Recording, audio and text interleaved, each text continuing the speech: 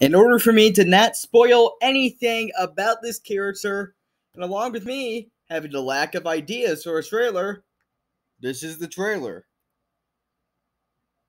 It's Noah. Eh. Eh. Eh.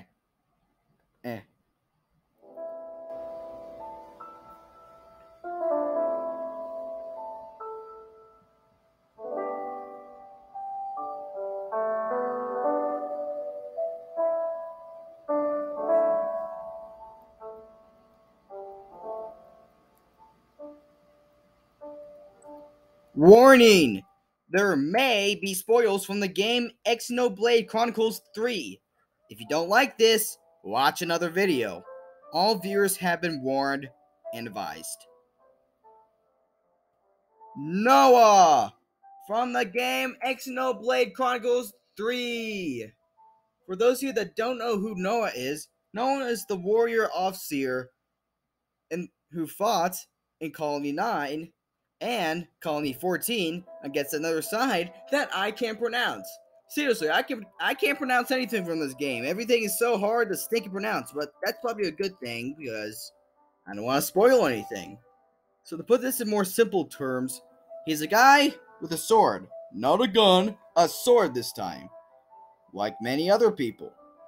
But what if he actually joins Smash and wh- whoever is not like a Marth fighter Totally not. Maybe not Shulk either. Eh. I'll shut up now. Anyways, things we need to know. He'll be mid-weight and he'll have only two jumps. He'll have no additional move options.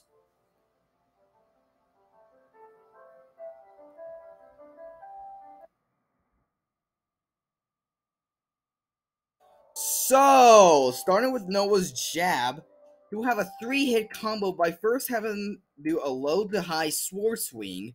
The second hit can be a ho- right horizontal swing, and the final hit can be a high to low swing.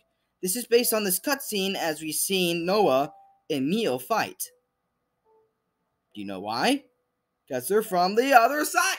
Anyways, the dash attack, Gavin do a charge, well, with his sword, having him charge forwards. Pretty simple. Once again, based on this cutscene. His side tilt could be a horizontal hit, working like many, many, many, many, many sword fighters. Okay, now now hear me out. Uh, I I really don't have anything wrong with sword fighters. They're as long as they're interesting, okay? I promise you, this is not the same moveset as Shulk. Now for his up tilt, we have to do a poke upwards, and for his down tilt, we can have him, well, do a low swing, working like Shulk. Oh. Hey. I promise you, I promise you, it's not like Shulk's moveset, okay? I promise. Okay?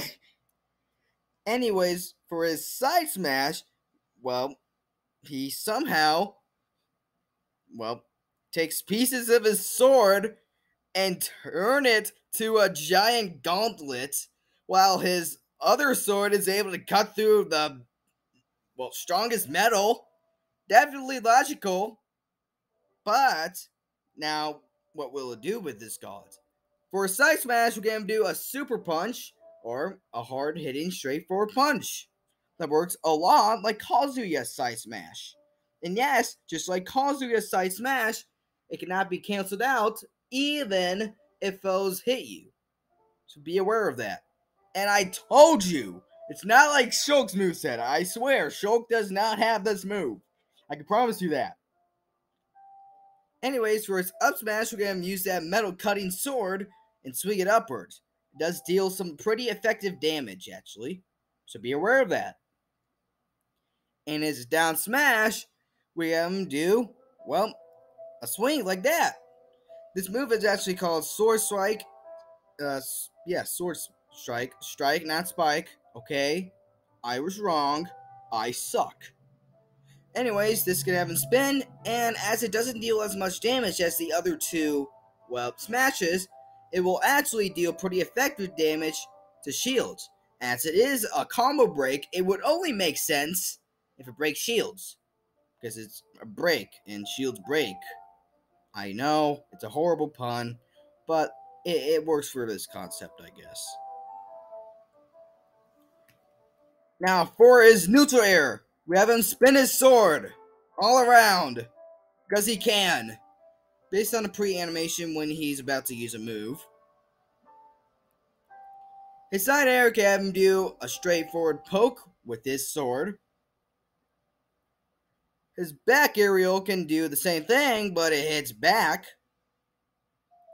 His up air can swing all around upwards. And his down air can spike any foe that's below, below him.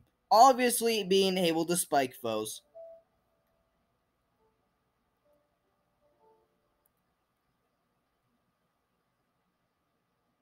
Noah would grab with one hand and would pummel by knee jabbing the foe. Why does the knee look like that? It's because I suck at drawing knees, apparently. Anyways, for his side though, we have Noah slightly throw the foes forwards, but then kicks them away. His back throw can do your average swing throw. His up throw can throw the foe upwards at a small distance, but then reactivates his blade and then stabs them away. And his down throw can have him introduce the foe to the floor working as your average down throw.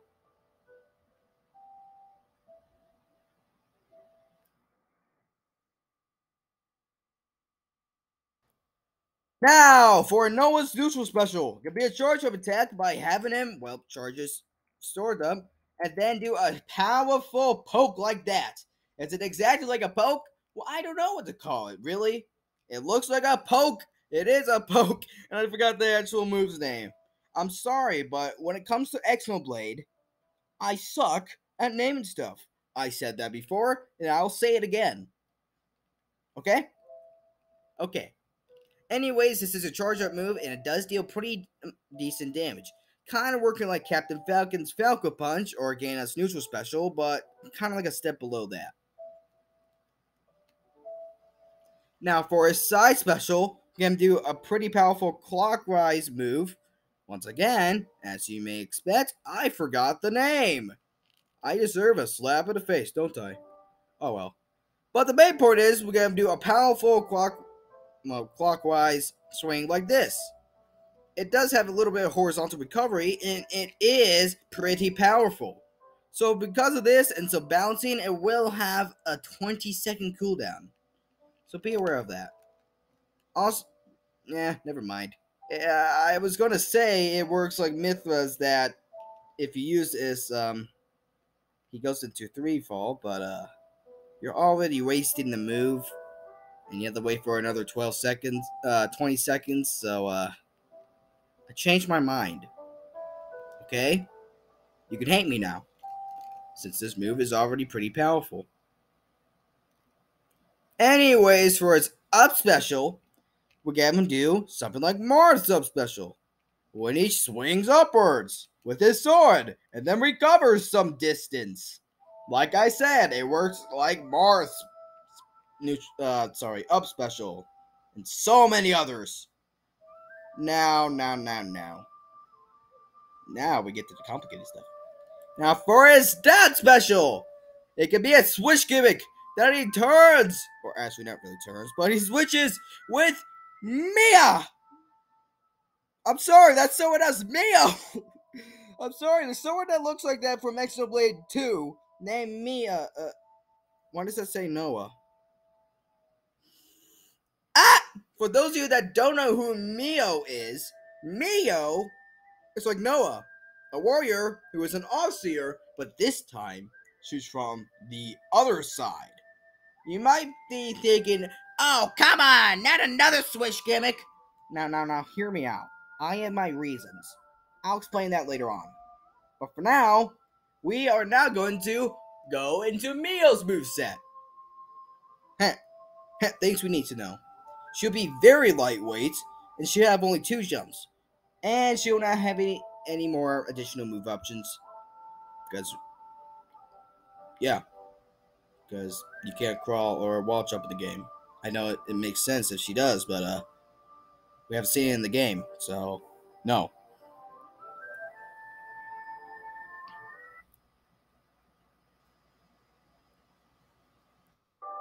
Cornel's jab could be a rapid jab by having her do a quick hitting two hit punch, and then we, we can have her have an endy jab by do a spread out slice.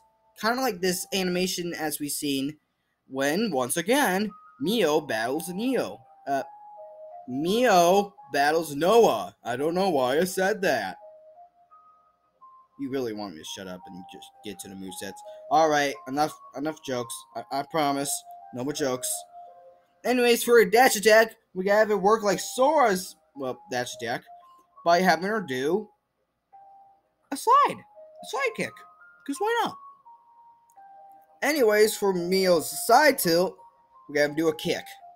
Once again, based on the animation, and I bet you know what animation it is. Do you know? Anyways, for up tilt, we got we can have her swing her blade upwards. Creative, right? Oh, I joked. Ha, ha, I broke the promise, people. Ha. Okay, I, I promise. I promise this time. I'll shut up. Okay? Now for a down tilt, we have her do something like Sheik's down tilt, where she does a swing kick. Oh, yeah. Then I forget to tell you there are some Sheik references. Yeah, not, I told you there were not going to be Shulk references, but Sheik references. Anyways, first, I excuse me, I'm choking. Anyways, for a side smash, we gotta do a three hit, well, slash like this. It is pretty powerful. It hit three times in totals, but it still racks up to be about 24% of damage, because that's how much a side smash usually is. But her up smash can have her, well, equip her blade, because that's the only thing she has right now. Maybe the entire battle. Anyways, have her swing upwards twice. So yes, it hits twice. The first hit would be the hit that deals damage, while the final hit is the hit that launches foes. And finally, for her down smash, we have her hit both sides twice. Yes, I know it may seem a little powerful, but not only that, it does make her a little bit vulnerable. So be aware of that. Now, for neutral air, we have her swing with both blades.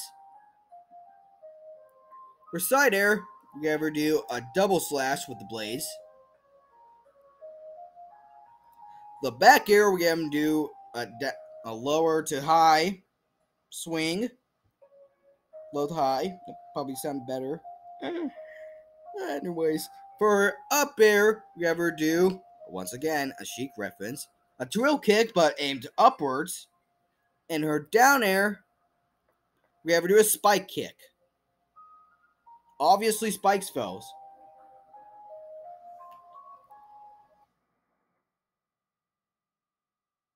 Neil will grab with one hand while her blade is in the other, and would pummel by smacking the foe with both blades. Her side throw, we can have her, well, throw the foe forwards, but then sends them farther by throwing her blade at the foe. Yeah, she is able to throw her blade, and like a boomerang, those blades do come back to her. I love technology. That's all I can say. It'd be really nice to have a boomerang that can hurt people. Anyways, um, no. I know I should have said that. Um, for a back throw, we have Mio throw the foe back at small distances, but then we can have her kick the foe away. Her up throw, we have her throw the foe upwards, but then slashes the foe away with her blades. And for her down throw, we can throw the foe downwards. Pretty simple. Ah, how many jokes have I said after I promised not to do any more jokes? Who's counting?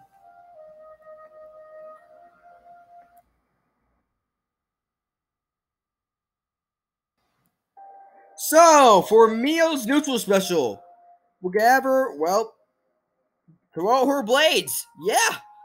This is a pretty powerful move that she is able to do called Gemini Strike. Now, for balancing purposes, as this is a pretty effective move in general, we will have her only throw one blade. Okay? Also, this is a thin projectile, and like Noah's side special, it does have a cooldown of 20 seconds.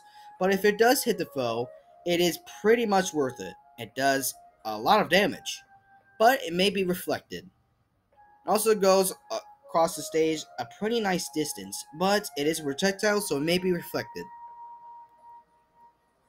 Now, for a side special, we can ever do, well, a jump up attack, but then does an X cross slash. Yeah. Now, this does work a, quite a bit like uh, Mythra's new uh, side special, and not because it does an X form like this, but because if you go off the stage while using this move, she will go into freefall. Because I know some of you will spam this move. I seen you Mythra players just spam side special. I know what's going on here. Anyways, for up special, we're going to do a Marth style up special and, well, slash up while gaining a bit of recovery, because I couldn't think of anything else. And her down special can obviously switch back to Noah. Now, you might have a few questions about the switch gimmick, and I will answer them in just one minute.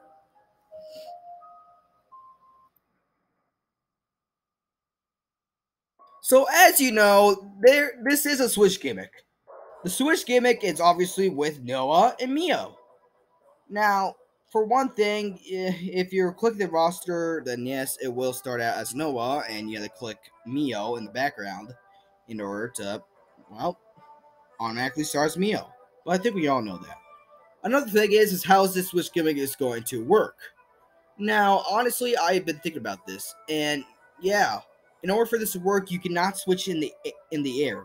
It just doesn't work. Cause Mio is going to be in the background or Noah, depending on which character you're using right now. So, well, either one of them will follow each other, and it's not important, isn't it? Thing is, you in order to use this switch gimmick, you have to be on the ground, and that's that. Okay, that could have been way easier to say if I didn't say a whole bunch of other stuff. Anyways, another thing you might be wondering is your stats. How's it going to work? And what are the differences?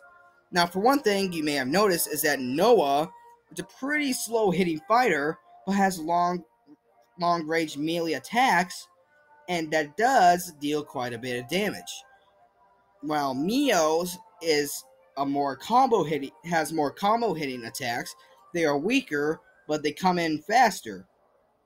And yeah, they're not as long range melee. So yeah. Now the main thing is is that yes, it's a switch gimmick, but it also leads you to strategize like Primary Mythra, who is ironically from the Xenoblade series. Hmm. Now yes, this does lead you to strategize. What are you going to use first? Are you going to use Noah to rack up damage quicker? Or not quicker, just rack up damage, well, I guess quicker. Or are you going to begin with Mio rack, racking damage, but I guess quicker but weaker? Uh, I don't know why I said that with Noah, but I guess deal with it. It's a little too late for that. And then switch into Noah to finish off the moves. Like Pyra and Mythra, it's up to you to strategize what you're going to do.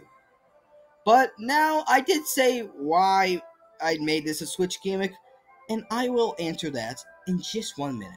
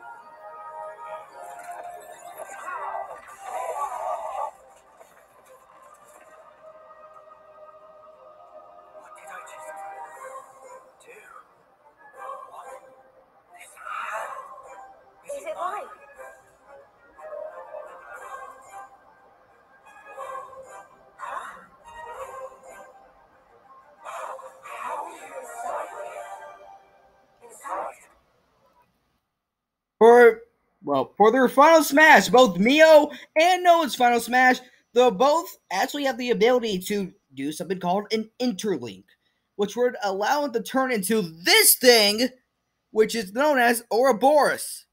Then we can have them do well. I can't remember the cutscenes. Uh, uh, uh. This is awkward. I can't remember what the cutscenes are called in Smash. This is not like me at all. Anyways, we can go to that cutscene that I can't remember for some reason. And first, in order to go into that cutscene, we can have them start by uh, dashing into through the stage until they hit a foe, like Ganondorf's neutral uh, final smash, but it's not. Then we're gonna take them to a cinematic final smash. I remembered it. Yes, I am not dumb. Yes. That's great music right there. Great timing. Anyways, as I was saying, you gotta do uh, cinematic final smash by having them rapidly slash at the foe with their giant sword, and then that's pretty much it. If this move is above 80% damage, then it will be an automatic KO.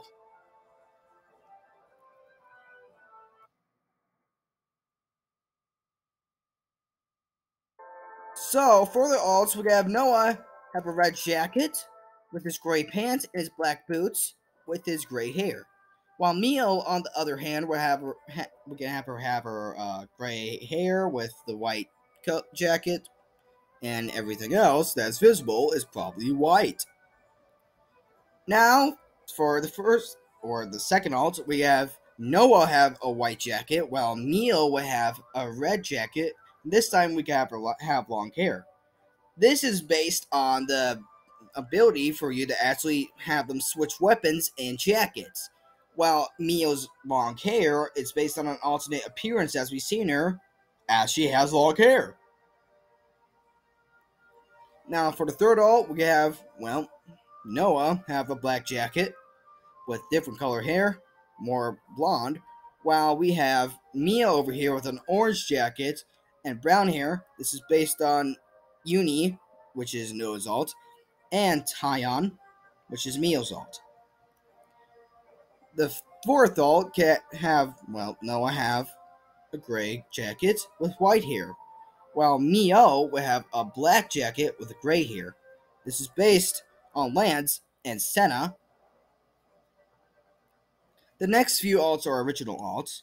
As right here, we can have, well, Noah have a yellow jacket, while Mio has an orange jacket. Next one, we have Noah have a purple jacket, while we have Nia have more lighter violet color of a jacket. The next one could be DLC's costumes. Starting with the 7 alt, we gotta have this DLC costume. And the final one can be swimsuit costumes. Kind of something that Shulk has for his last alt. So why not? Anyways, for their taunt, starting with Noah, we have Noah do kind of like a pose like this, based on his main artwork appearance. I made that awkward. Anyways, the second time we gotta say, this is our fight. Yeah, I would say it in a British accent, but uh, my British accent sucks. Just like my. life. Anyways, for his final taunt, we got him play the flute honoring the people that died during the war. While Mio's taunts we ever do the exact same thing, depending on whatever taunt arrow the Noah's is. Now, for Mio's second taunt, we have her pull out a diary because she can, and then writes stuff into it. In her final, well, taunts, we her say, I wouldn't think this would take long. Once again, in a British accent because everyone in Xenoblade has a British accent. Anyways, for the victory animations, starting with just using Noah, I lied, Mio. I was confused. I suck. Anyways, we have her do this idle an- uh, animation as we've seen her do in this cutscene, but also we have seen her do before battle. The next animation is for, well, mainly using Noah, which we, we can have him do, well, turning his sword into a gauntlet again and then poses. In a final animation, using a mixture of both Mio and Noah, we have them stare in the sunset while well standing on top of a hill. Based on the ending of uh based on the ending cutscene, I should say, of X No Xenoblade 3. Except for they're both staying right there. That's it's both their victory theme. Now, as awkward as it is, that's it. That was one of both Noah and Mio was in Smash. I hope you enjoy this moveset. I don't know why you would. I suck. I have said that six times. But if you did, please consider subscribing. If you don't feel like subscribing, then I would suggest you, well, like this video instead. And if you want to keep track of any of our videos, then you might as well ring the bell. As anytime we upload a video, you get ringed the bell in the ear. Anyways, if you want to join our community or hang out with them, I would suggest you go into our Discord server, which is usually in the, well, the description or in the About Us page if you can't find that description. I don't know how you wouldn't, but, uh, yeah. Anyways, that's it. That's with Noah Mio wasn't Smash. So long, peeps.